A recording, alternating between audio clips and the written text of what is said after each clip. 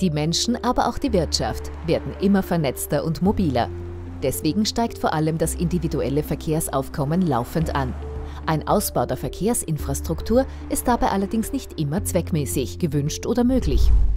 Aber auch das physische und digitale Angebot sowie die Möglichkeiten, sich fortzubewegen, werden immer bunter, vielfältiger und damit leider auch unübersichtlicher. Dabei wollen wir nur eins, möglichst smart und bequem von Tür zu Tür kommen. Und das mit einem möglichst geringen ökologischen Fußabdruck.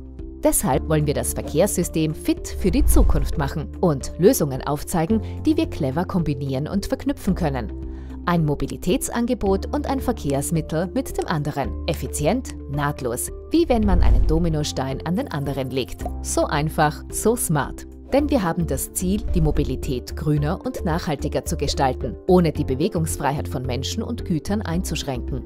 Das Gesamtverkehrssystem in Österreich wird attraktiver, einfacher nutzbar und bleibt gleichzeitig weiterhin leistbar. Wie smarte Mobilität tatsächlich funktionieren kann, wie wir vorhandene Verkehrsangebote sinnvoll vernetzen und neue schaffen können, schauen wir uns in den drei Pilotregionen Niederösterreich, Oberösterreich und Salzburg genauer an. Dabei werden wir wissenschaftlich begleitet. Die intelligente Zukunft der Mobilität beginnt jetzt. Domino, ein Forschungsprojekt für das koordinierte Vorgehen bei der Entwicklung intelligenter Mobilitätssysteme.